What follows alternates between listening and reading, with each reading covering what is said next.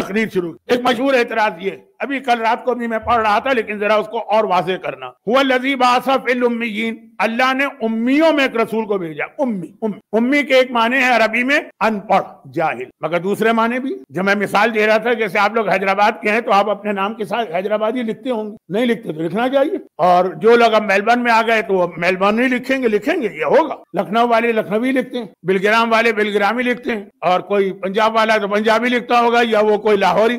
ہے نا؟ ایسا یہی ہوتا ہے نا۔ مکے کا نام کیا؟ ام مکے کا نام ہے ام ام القرآن یہ قرآن میں بھی آیا ہے۔ ایسی کسی تاریخ کی کتاب میں نہیں ہے، قرآن میں بھی۔ تو جو مکے میں رہنے والا ہے، وہ کیا کہلائے گا؟ ام تو مکے کے امی کا ایک ترجمہ ہوا، مکے والا۔ یہی قرآن نے کہا۔ ایک ترجمہ ہے، امی کا جاہل، نادان نہ سمجھ نہیں نہ سمجھ نہیں، ان پڑھ۔ راوی نے جا کے امام سے پوچھا، فرزند رسول اللہ اتنے بڑے مقصد کے لیے اپنے حبیب کو دنیا میں بھیج رہا تو کیا اللہ کو کوئی پڑھا لکھا انسان نہیں ملا کہ ایک جاہل اور ان پڑھ کو نعوذ باللہ یہ جس انداز سے میں بات کر رہا ہوں، ہونی نہیں چاہیے لیکن اب وقت میرے ہاتھ سے نکل رہا۔ ایک جاہل اور ان پڑھ کو اللہ نے اپنا رسول بنا کے کیوں بھی راوی حیران ہے۔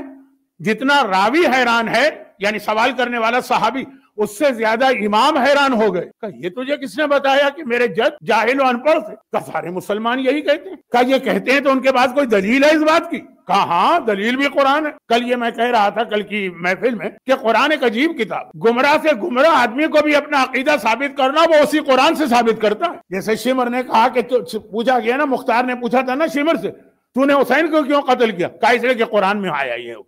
اللہ یہ کون سا قرآن ہے جس میں حسین کے قتل کا حکم آئے لیکن وہ بھی آیت پڑھ کر اپنے اتنے بڑے گناہ یعنی اس سے بڑا کائنات کا گناہ کیا، وہ قرآن سے ثابت کر۔ تو دھوکہ مت کھائیے جب کوئی کہے کہ میں قرآن کی آیت پڑھ رہا ہوں، یہ ثابت کر رہا ہوں۔ اس طرح کوئی چیز ثابت نہیں ہوتی۔ اس طرح اگر ثابت ہونے لگے تو قتل حسین بھی نعوذ باللہ ثابت ہو جائے گا۔ مرجے کی ضرورت اسی لیے پڑتی ہے وہ بتائے گا کہ اصل قرآن کیا کہہ رہا وہ بتائے گا کہ یہ اصل اس کا، اس آیت کا مطلب کیا جیسے یہاں امام فرما رہے امام کہہ رہے ہیں بھائی دلیل کیا کیا وہ کہتے ہیں قرآن میں آیا ہے۔ اب امام اور حیران ہوئے کہ یہ کون سا قرآن ہے؟ ہم سے زیادہ قرآن کون سمجھتا ہے؟ بھائی ہم سے زیادہ قرآن کون سمجھے گا؟ قرآن نازل ہوا ہے قلب محمد پر اور ہم پلے ہیں محمد کے سینے پر۔ سینے پہ پلنے والا ہی سمجھے گا کہ دل کے اندر کیا چیز ہے؟ یہ کون سا قرآن؟ یہ کون سا قرآن؟ اب یہاں پہ یہ بات آئی تو ایک چھوٹی سی بات اور عرض کر دوں۔ قرآن۔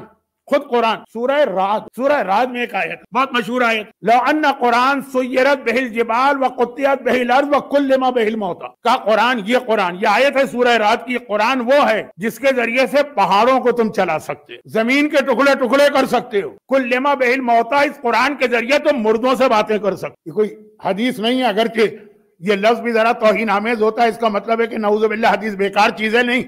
کمزور ہوتی ہے، جھوٹی ہوتی ہے۔ قرآن تو نہ کوئی آیت جھوٹی ہے، نہ کوئی آیت کمزور۔ قرآن کہہ رہا ہے کہ اس کے ذریعے سے، اس قرآن کے ذریعے زمین کے ٹکڑے ہو سکتے ہیں، پہاڑ چل سکتے ہیں۔ بڑے سے بڑے حافظ قرآن کو لے کے آ جائیے۔ آج کل تو بہت حافظ قرآن ہے تو پہاڑ تو دور کی بات ہے، تم ایک پتھر کو جلا کے دکھا دے اس قرآن۔ اب قرآن کہہ رہا ہے کہ میرے ذریعے پہاڑ چلیں گے۔ اور حافظ قرآن صاحب بھی آ جاتے ایک پتھر کو اپنی جگہ سے حرکت نہیں دے سکتے۔ تو کیا قرآن غلط کہہ رہا ہے؟ نہیں، قرآن صحیح کہہ رہا ہے۔ لیکن فرق جس کے لیے ہمارے علماء ایک مثال دیتے ہیں، آپ نے سنی ہوگی مثال۔ فرماتے ہیں، مثلا ہمارے علماء کہتے ہیں، کوئی عالم کہتا ہے کہ میں گیا کسی صاحب کے گھر پہ۔ اب یہاں لفظ ذرا سا ٹھیک نہیں آ رہا قرآن کے لیے، لیکن بات سمجھانے کے لیے سن لی تو دیکھا، ان کا نوکر دروازے پہ کھڑا ہوا میں نے اس نوکر سے کہا کہ بھائی، یہ میرا کام ہے، فلاں کام کر دو۔ وہ کھڑا۔ اچھا یہ نہیں کرتے تو یہ کر دو۔ کھڑا۔ بھائی، وہ نہیں کرتے، وہ کر دو۔ کھڑا۔ سن رہا ہے، سمجھ رہا ہے، اپنی جگہ سے ٹس سے مس نہیں ہو رہا۔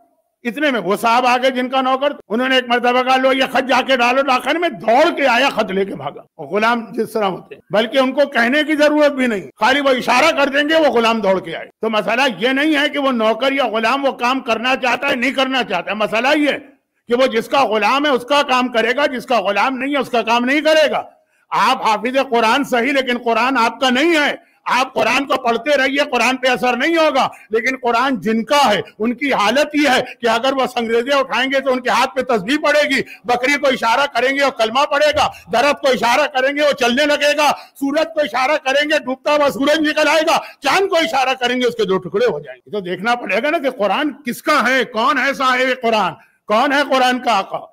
تو یہ قرآن جس سینے پہ نازل ہوا ہے، وہ وہ سینے پر پلنے والا زیادہ بہتر بتا سکتا ہے نا؟ تو امام کہہ رہے ہیں، وہ کون سا قرآن ہے؟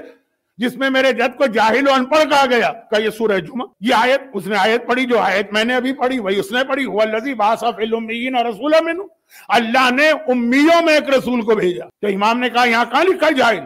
کا مولا لکھا ہے امی۔ امی کے ایک معنی جاہل کے ہیں ہیں ایک معنی۔ اس کی وجہ بھی میں بتاتا ہوں اگلی مثال کہا، امی، قرآن نے کہا ہے دیکھیں، دو معنی ہو سکتے ہیں امی کے نا۔ مسلمانوں نے وہ معنی لیے جو توہین رسالت۔ امام نے کہا اچھا یہ وہ کہتے ہیں۔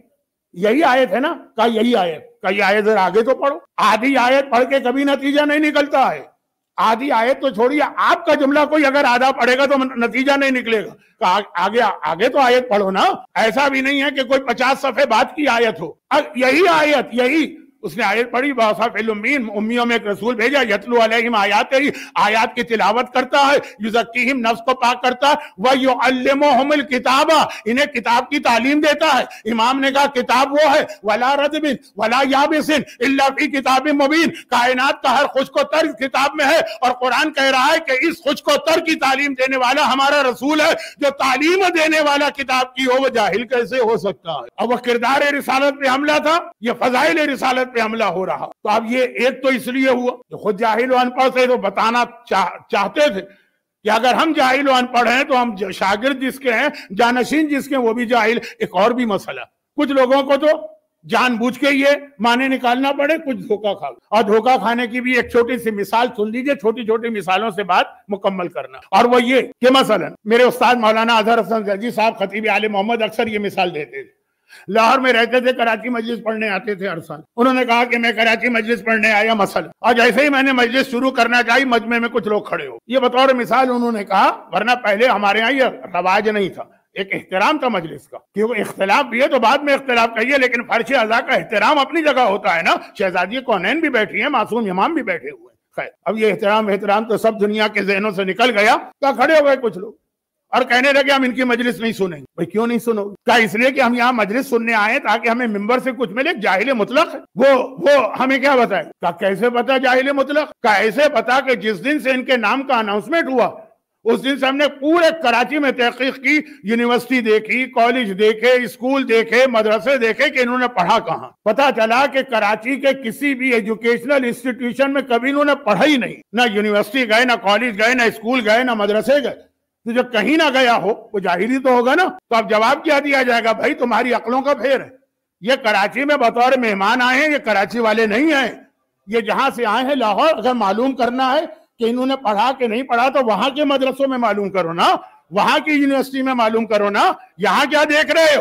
دنیا کو دھوکا ہوا کہ محمد مکے میں پیدا ہوئے ہیں تو ان کی تعلیم مکے میں دیکھو، چیک کیا، مکے میں رسول نے کسی سے نہیں پڑھا، کوئی رسول کا استاد نہیں تھا، تو کہا یہ جاہل و ان پڑھ ہے، ارے یہ یہاں کی ہے ہی نہیں، یہ عرش الہی سے آئے ہیں، ان کا علم حاصل کرنا ہے، تو وہاں جا کے پوچھو، تو وہاں کا مدرس کیا کہہ رہا ہے؟ الرحمن، علم القرآن، خلق الانسان، ہم نے انسان بعد میں بنائے، آدم بعد میں بنے، اس سے پہلے قرآن سکھایا، تو تو آدم سے پہلے کون تھا جسے قرآن سکھایا؟ وہ ایک ہی ہے کن تو نبی انوا آدم و بین الماء اور سورہ نساء میں اور واضح کر دیا۔ بھئی وہاں کے مدرسے سے پوچھو نا کہ جہاں سے یہ آئے، اور واضح کر دیا۔ علمک ما لم تکن تعلم۔ یہ قرآن کی آیت۔ اے رسول، جو کچھ تجھے نہیں معلوم تھا، سارا علم ہم نے تجھے عطا کیا۔ عرش الہی کا استاد۔ وہ یہ کہہ رہا ہے کہ ہم نے سارا علم تجھے عطا کیا اور فرش زمین پہ بیٹھنے والا یہ گناہگار انسان کہہ رہا رسول جو تھے وہ جاہل اور ہاں۔ اب کون وہاں کی گواہی؟ استاد تو گواہی دے رہا ہے۔ اب وہ بھی گواہی دے گا جو وہاں کے مدرسے میں ان کے ساتھ پڑھا ہے، جو کلاس فیلو۔ بھائی، لاہور کے مدرسے میں، کالج میں جو ہمارے ساتھ پڑھا ہے، وہ گواہی دے گا کہ ہاں بھائی، میں گواہی دیتا ہوں کہ میرے ساتھ ساتھ یہ پڑھ رہے تھے۔ تو ایسا گواہ تو آپ کو ایک ہی ملے گا کہ اگر رسول کن تو نبی و آدم و بین الماء و تیر میں اس وقت بھی نبی تھا. جب آدم پیدا بھی نہ ہوئے تھے، تو وہ پکار پکار کے کہتا ہے کن تو ولی و آدم و بین الماء و تیر میں اس وقت بھی ولی تھا جب آدم پیدا بھی نہیں ہوئے۔ اور وہ جو گواہ ہے، وہ جو گواہ ہے جو رسول کے علم کی گواہی دے گا۔ اس نے ایک سلسلہ گواہی کا ایسا بنا دیا۔ کہ اگر ابن ملزم کی تلوار کے ذریعے میں دنیا سے چلا بھی جاؤں تو میرا حسن آ کے یہ گواہی کو آگے بڑھائے، میرا حسین گواہی کو آگے بڑھا میرا سجاد گواہی کو بڑھائے، میرا باقر گواہی کو بڑھائے اور پھر میرا وہ صادق آ جائے جو علم رسالت کو اس طرح پھیلائے کہ اس کی فقہ کا نام ہی فقہ جعفری قرار پائے۔ چھٹے امام نے پیغمبر کے علم کو اس طرح سے آگے بڑھایا، اس کا نام ہی ہو گیا فقہ جعفری۔ ہر معصوم کی فقہ فقہ امامیہ پیغمبر کا لایا ہوا دین ہے۔ مگر وہ وہ گواہ اول جو اس وقت بھی ولی تھا جب آدم پیدا نہ ہوئے تھے، اس کے بیٹے نے آ کر اس سلسلے کو آگے بڑھایا اور یہاں رک بس آخری بات عرض کر رہا ہوں، کیونکہ نماز کا وقت بہت قریب آ گیا، شاید بالکل تین منٹ باقی۔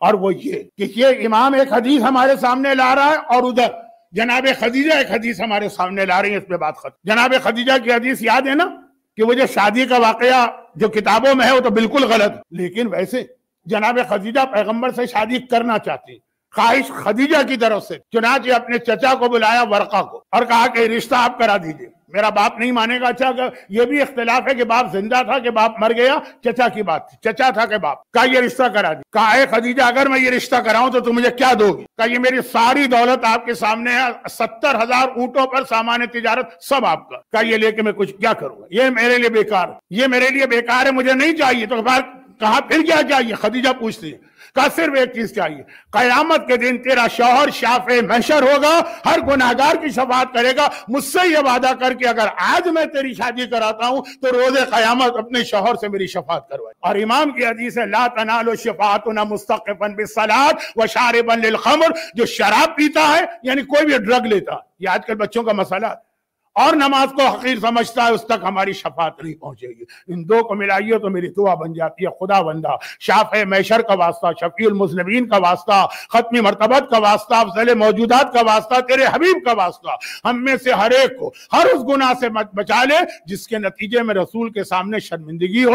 اور اگر کوئی گناہ ہم سے ہو جائے، انہی پیغمبر کی شفاعت کے حق کا واسطہ، ان کی شفاعت، ان کی پاک اولاد کی شفاعت نصیب فرما کے ان گناہوں کو معاف فرما۔ جو آج کی محفل کے بانی ہے، ان کو دنیا اور آخرت کی ساری خوشیاں نصیب فرما۔ انہوں نے یہ پاک ذکر کی محفل سجائی ہے اور جو لوگ اس میں شریک ہوئے ہیں، اس کی طفیل میں انہیں ہر آفت، ہر بلا، ہر مصیبت، ہر پریشانی سے محفوظ فرما۔ کفرستان کے اس ماحول میں ہمیں خود اور اپنی اولاد کو دین اسلام پر عمل کرنے کی توفیق عطا فرما۔ دنیا میں جہاں جہاں کسی پہ ظلم ہو رہا ہے، اللہ کا رسول جو ظالموں کے خلاف سب سے بڑی تلوار بن کے آیا، ان تمام ظالموں کو نیست و نابود فرما، مظلوموں کی مدد فرما اور ظلم کے خاتمے اور خاص طور پر اہل بیت پہ ڈھائے جانے والے مظالم کے خاتمے کے لیے امام زمانہ کے ظہور میں تاجیل فرما۔